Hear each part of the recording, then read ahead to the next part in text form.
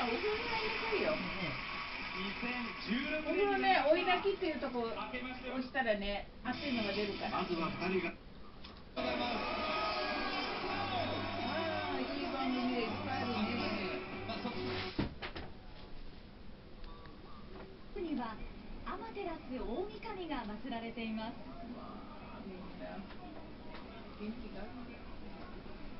午前0時に扉が開き新年の参拝が始まりました。たお風呂に。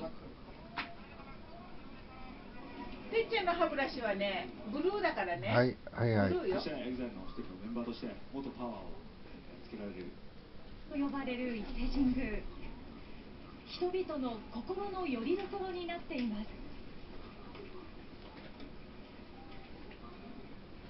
明けましておめでとうございます2016年平成28年の幕開けです。伊勢神宮では年越しの瞬間に自然とカウントダウンする声が響いて賑やかな新年を迎えましたね。え大きなね歓声でしたね。明日1日よ明日元旦伊勢神宮には年を越して一層多くの人々が押し寄せています。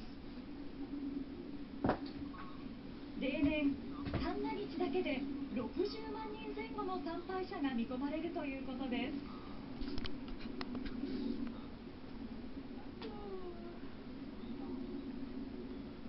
さあ新しい年を迎えた各地の様子を見ていきましょ